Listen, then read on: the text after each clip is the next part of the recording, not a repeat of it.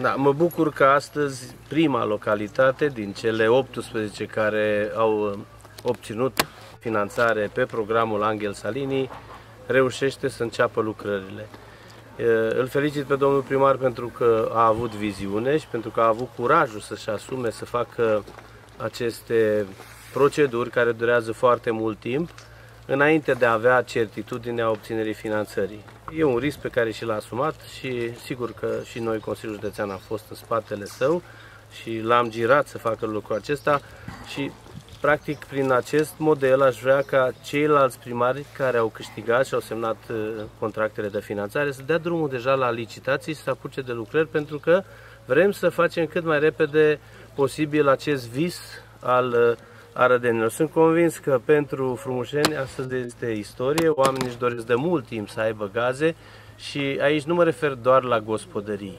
Spunea domnul primar de 20 de agenți economici.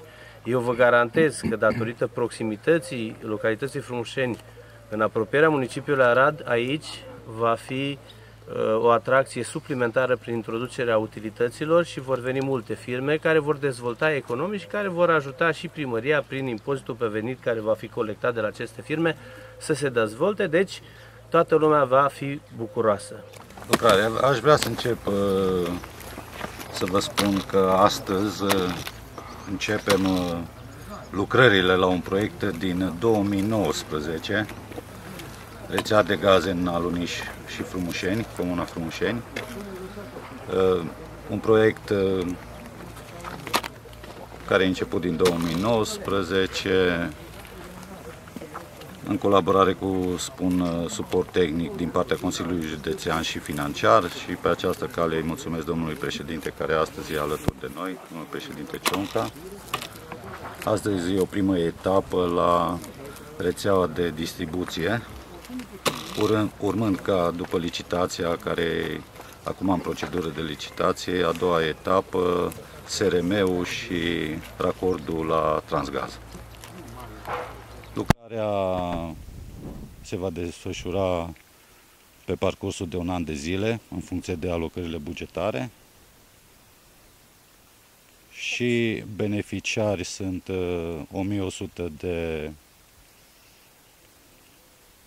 numere de case, de gospodării și 20 de persoane juridice.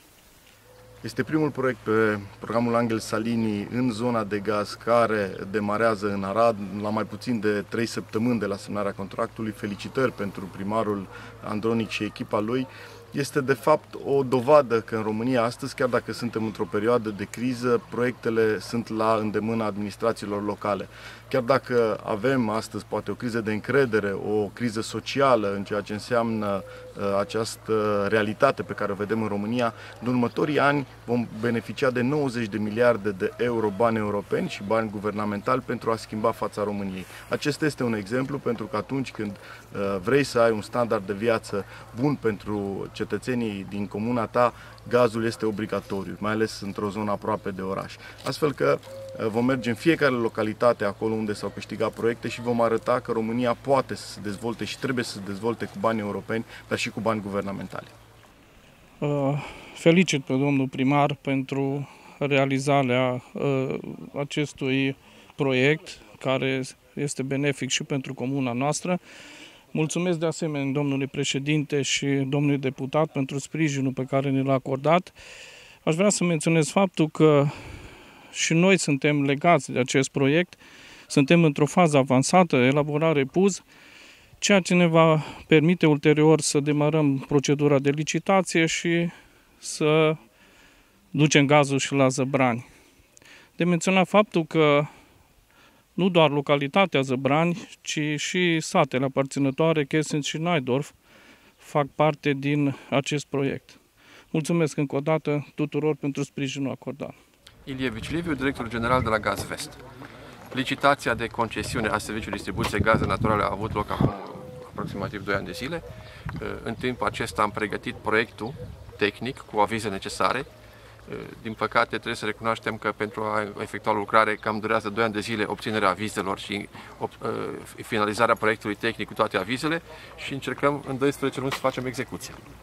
Ca o paranteză, cred că a durat 3 ani de zile proiectul la Socodor, care pe fonduri europene, și suntem în probe să finalizăm execuția în 12 luni, mai puțin 12 luni de zile, dar o paranteză de, de altă lucrare. Aici, la uh, Frumușeni, uh, este prima lucrare pe Angel Salini care pare, are condiții să înceapă. Este o premieră pentru județ, cred că și pentru țară, că are condițiile, condițiile îndeplinite. Are contract de concesiune cu un distribuitor autorizat, are autorizație de construcție, are licitație, de, licitație pentru execuția rețelei de distribuție, se finalizează licitația pentru racord și SRM. Lucrările încep, încă o paranteză, dimensionarea conductei este făcută ca să limiteze și Zăbraniu. Deci firul principal va fi dimensionat ca să putem merge de aici mai departe la Zăbrani.